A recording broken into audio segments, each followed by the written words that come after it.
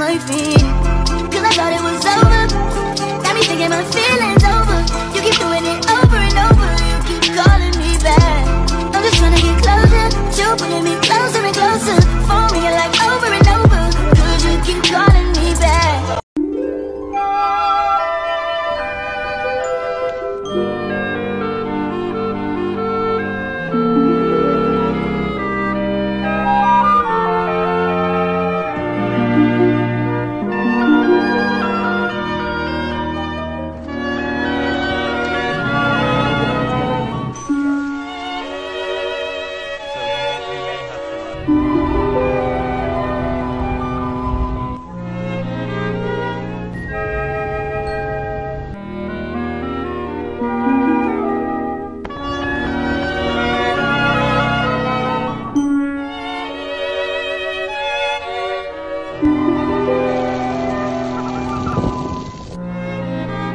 guys, welcome to Productive High School Day in Life vlog. I woke up at 5:25 a.m. this morning, then I made my bed and got dressed and ready to go work out. Then afterwards, I went into a nice little HIIT workout, which honestly was kind of really sweaty and difficult. and then afterwards, I took a shower. Here are the products I used. And then I dried off, picked out my outfit for the day. I was feeling pretty comfy and cute for the day, so I just did this cute little outfit. Then I listened to some music and did my makeup, packed my lunch for the day, watermelon and wrap, super good. And then I made myself some yogurt for breakfast and hit out on the bus. And it was a nice little day. Did some schoolwork at school, ate some lunch. Then I drew my friend Ava an art. It was blind drawing, so it was kind of difficult. Then I got back on the bus, hit it back home, and made myself an iced pumpkin spice latte. Then I did some laundry, put out some clothes, and afterwards I cleaned off my desk, which was super messy. Then I did some biology homework and planned out my like afternoon. Then I hit it back onto my front porch and did some Algebra 2 homework, which was honestly not that bad considering. Then I did some Spanish and made some mac and cheese for dinner. So yeah, bye. Para o peitinho primeiro. Vai mostrar o peitinho pra mim. Empina esse rabetão. Ela já tá louca. Ah, quer sentar em mim.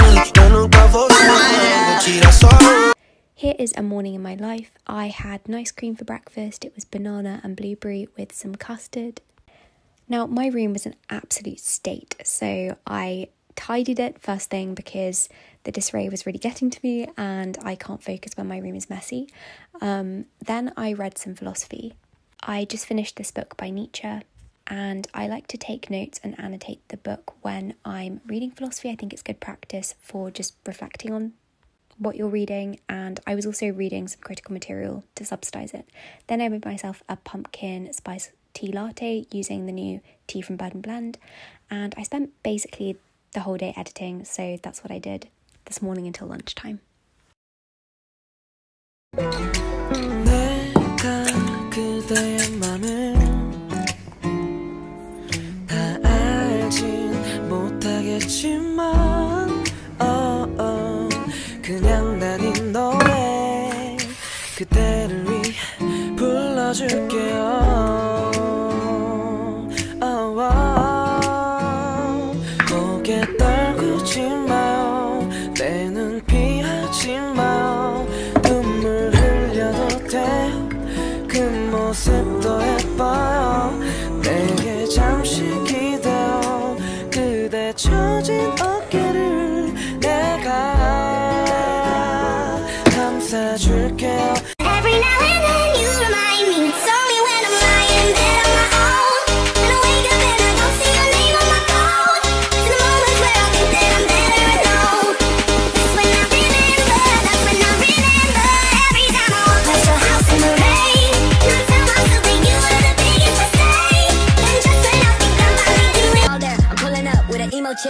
Broken. This that college dropout music. Every day late that she be. And my friends are all annoying, but we go dumb, yeah, we go stupid. This the 10K on the table just so we can be secluded. And the vodka came diluted. One more line, I'm superhuman. Fuck you and you and you.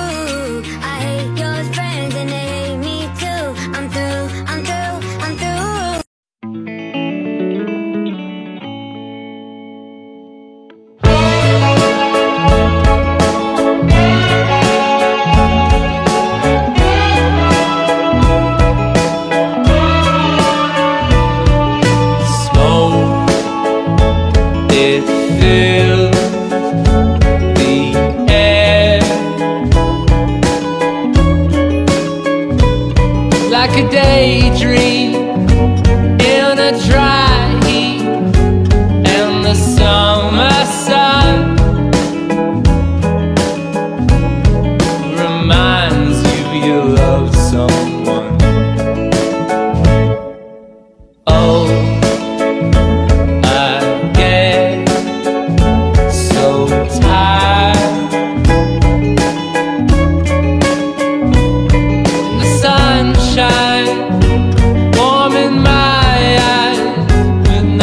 This is a productive day in my life as a startup founder in Toronto.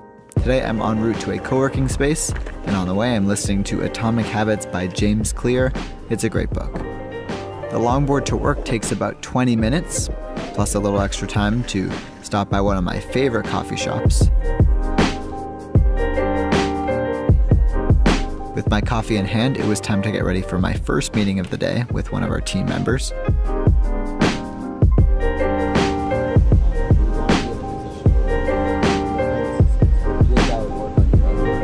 After a few more meetings, I didn't film that consumed the morning.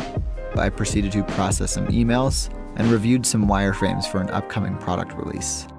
And after a long day of calls, emails, and some actual work, I felt productive enough to finish my tasks at home, ending the day with the very commute I started.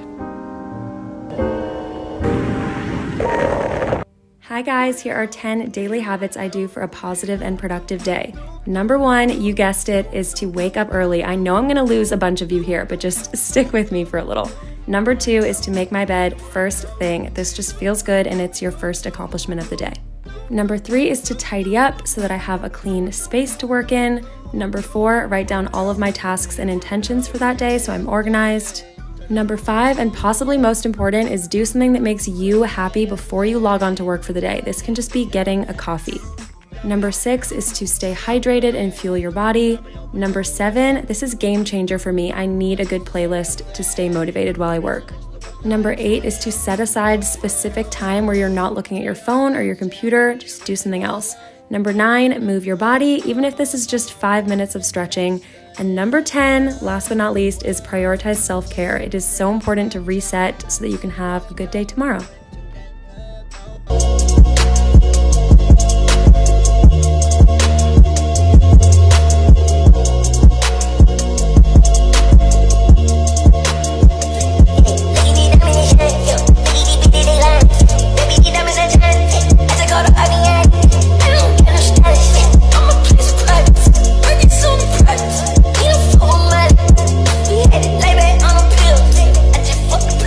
Today I want to introduce you guys to something that I use to be more productive and it's called a 90 minute focus sprint and here's how you do it. First, the night before, you need to write out your to-do list. That way when you wake up in the morning, you're already set and you already know what you have to do. And next up, turn off all notifications. That's on your phone and your computer. Swipe down add do not disturb, or if you have a work mode, turn that on. And next up, set a 90 minute timer. And for those that don't know, that's an hour and 30 minutes. And now it's time to jump into your to do list with zero distractions. Whether it's emails or admin work that you need to take care of, right here, I'm packing up some orders. Whatever you need to take care of on that to do list, make sure you knock it out in 90 minutes. And if you don't finish, don't worry, you'll be doing two to three more of these throughout the day. And once you're done with your first 90 minute focus sprint, you're gonna take a 30 to 45 minute break. Sometimes I like to go chill by the pool. Sometimes I like to just get something to eat, get a snack, whatever it is that you wanna do to relax for those 30 to 45 minutes, do that for yourself. And next up on your next 90 minute focus sprint, I like to change scenery because changing scenery, it allows me to be more motivated outside of my regular workplace and allows my ideas to flow. And I just get a lot more production done that way. And just do this two to three times a day and maximize your productivity. And let me know what you guys think.